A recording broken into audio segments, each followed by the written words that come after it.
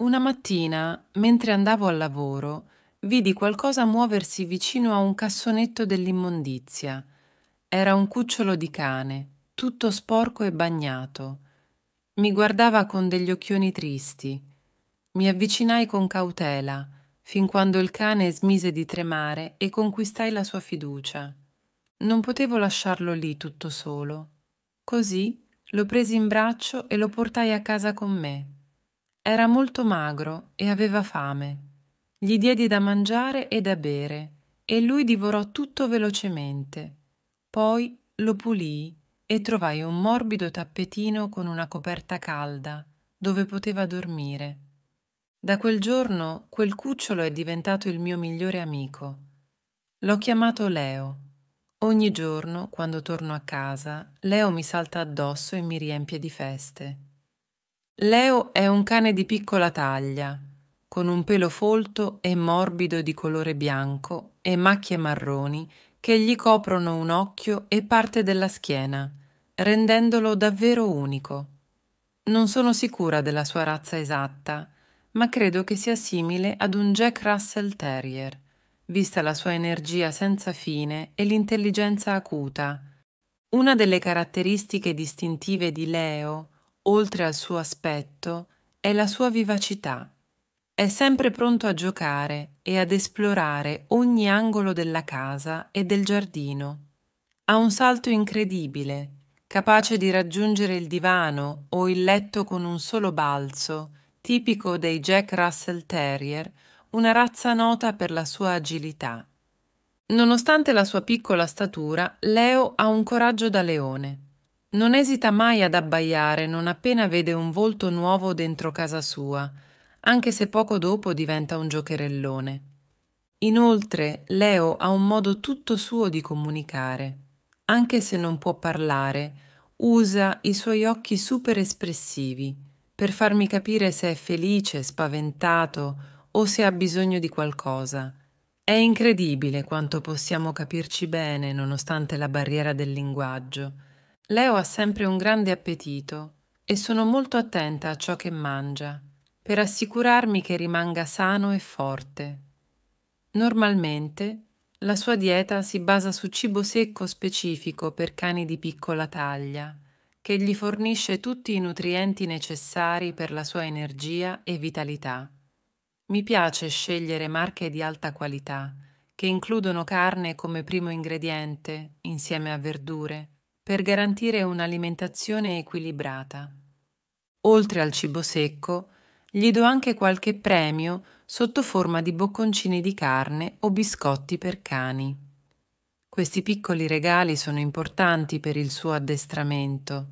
Devo fare attenzione però a non dargli cibi pericolosi per i cani come cioccolato, uva, cipolle o alimenti troppo grassi, anche se mi guarda con quegli occhi supplicanti ogni volta che mangio qualcosa, so che è per il suo bene resistere alla tentazione di condividere il mio cibo con lui. Inoltre, Leo ha sempre a disposizione una ciotola di acqua fresca, perché è fondamentale che rimanga ben idratato durante tutto il giorno, soprattutto dopo l'esercizio o nei giorni più caldi. Leo adora giocare e abbiamo una serie di attività preferite che ci tengono entrambi attivi. Uno dei suoi giochi preferiti è sicuramente il riporto. Gli lancio una pallina o un giocattolo e lui corre a prenderlo per poi portarmelo indietro, aspettando eccitato che lo lanci di nuovo. Questo gioco non solo lo aiuta a bruciare energia, ma rafforza anche il nostro legame e la sua capacità di obbedienza. Un'altra attività che Leo ama particolarmente è il percorso ad ostacoli che ho allestito nel nostro giardino. Con l'aiuto di alcuni ostacoli semplici, come tunnel, piccole siepi e cerchi, Leo impara a seguire i comandi mentre si muove attraverso il percorso. È un ottimo modo per stimolare la sua mente e mantenere in forma il suo corpo agile. Ogni volta che completa il percorso, gli do qualche piccolo premio. Visto il suo talento, non escludo che in futuro possa partecipare a qualche gara. Purtroppo ci sono stati anche momenti negativi nella vita di Leo, come quando ero costretta a lasciarlo solo almeno sei ore al giorno, per via del mio lavoro in ufficio. Leo ha sofferto molto per questo, fino a quando non ho deciso di donargli una compagnia. Capendo quanto Leo soffrisse durante le lunghe ore di solitudine, iniziai a pensare a come potessi alleviare la sua tristezza. La soluzione mi venne quasi per caso, durante una visita al negozio di animali del quartiere, per acquistare il suo cibo abituale. Lì, fra i vari animali, mi colpì il richiamo allegro di un pappagallo. Era un bellissimo esemplare di parrocchetto monaco, con piume verdi e blu e un'espressione curiosa. Mentre lo osservavo, il commesso mi raccontò di quanto i pappagalli siano compagni intelligenti e affettuosi, capaci di creare legami profondi con i loro proprietari e persino con altri animali domestici. Mi spiegò che, con la giusta attenzione e cura, un pappagallo sarebbe potuto diventare un ottimo amico per Leo, offrendogli stimoli e compagnia durante le ore che trascorrevo fuori casa. La decisione non fu immediata. Sapevo che prendere un pappagallo significava impegnarmi a curare un altro essere vivente, con le sue esigenze e responsabilità. Tuttavia, pensando al bene di Leo, e alla possibilità di regalargli un compagno che potesse alleviare la sua solitudine, decisi che era la scelta giusta. Dopo aver fatto le dovute ricerche e assicuratami di poter procurarmi una gabbia spaziosa, tornai al negozio per portare a casa il nuovo membro della famiglia.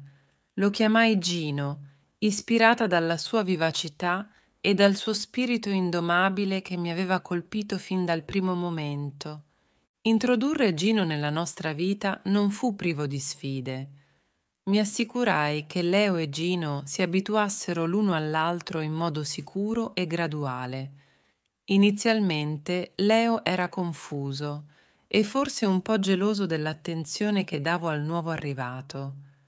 Tuttavia, con pazienza e supervisione, i due iniziarono a mostrare curiosità reciproca e con il tempo questa curiosità si trasformò in un'amicizia inaspettata. Gino si è rivelato una compagnia eccellente per Leo. Non solo riempie la casa con i suoi canti e le sue imitazioni divertenti, a volte Gino abbaia come se fosse un cane, ma è anche affascinante vedere come interagiscono.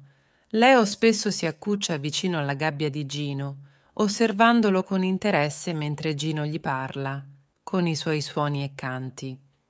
Grazie all'arrivo di Gino, la solitudine di Leo è diventata un lontano ricordo.